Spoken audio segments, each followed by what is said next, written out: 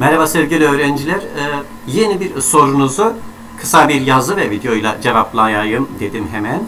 Devamsızlıktan sınıfta kalma olacak mı diye çok fazla yorum ve soru geliyor. Tabii ki olmayacak. Nedeni ise e, okula gidip gitmeme tamamen velinin inisiyatifine, iznine bağlı olduğu için, dilekçesine bağlı olduğu için e, yoklamalar e-okula girmeyecektir ve girse dahi sınıfta kalma olmayacaktır. Yani devam zorunluluğu olmayan öğrencinin sınıfta kalması zaten imkansızdır sevgili öğrenciler.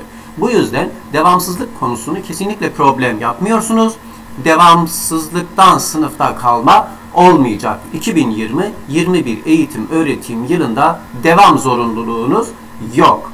Yeni videoda görüşmek üzere. Şimdilik hoşçakalın.